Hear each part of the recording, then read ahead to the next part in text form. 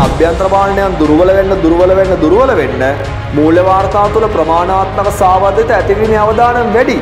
ඉතින් ප්‍රමාණාත්මක සාවද්‍යත ඇතිවීමේ අවදානම් වැඩි කියලා කියන්නේ විගණක මුහුණ දෙන විගණන අවදානමත් වැඩි. ආයෝජන වත්කමක් නම් බලන්න ඕනේ එම වත්කම මෙලදීගෙන තියෙන්නේ කවදද කියලා. ආයෝජනයේ මත ආයෝජනයේ හේතුවෙන් ආයෝජක වේදනයේ සිදුවන වෙනස් වීම තමයි NP වලින් පෙන්වන්නේ. NP දාන ධනයේ වැඩිවීම NP ඍණ නම් විනෝදන වියදමක් වුණාම මොකද වෙන්නේ? නැවත ඒ වියදම එකතු වෙනවා.